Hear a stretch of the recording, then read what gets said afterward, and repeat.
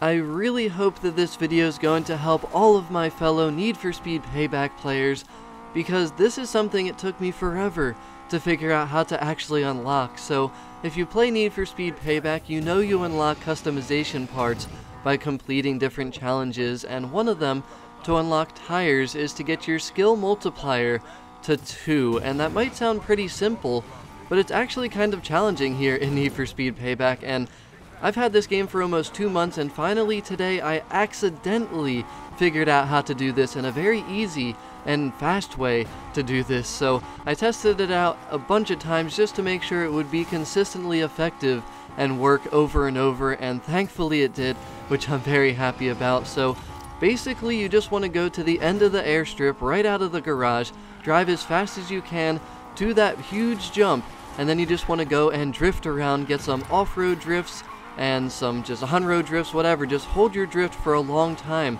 after you get the ace air time. So basically ace air time and then ace drifting. You can see there it finally popped tire customization unlocked. So I think the main thing you got to keep in mind is you do need a car that's pretty quick.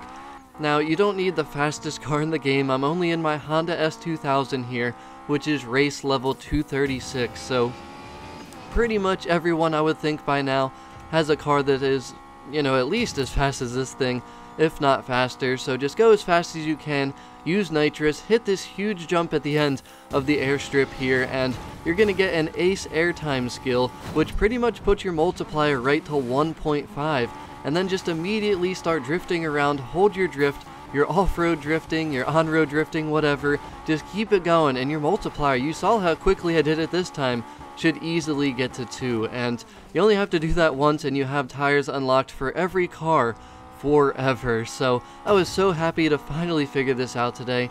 I honestly thought I'd never get tire customization in this game because it's just, it's tough. I don't know what else you can do to get this. I mean, this is the only thing I have ever done that got me to 2.0 skill multiplier. So I really hope that everyone finds this video to be helpful or useful. If you have any questions at all, please just let me know. And hopefully everyone does get the tire customization unlocked now because it's something it seems pretty simple, right? And it might be frustrating not being able to get the to the 2 skill multiplier, so hopefully this solves everyone's frustrations and you can easily get it like I just showed you here in the video. But thanks for watching, really hope once again that everyone finds this to be helpful or useful. Have a wonderful day. Peace.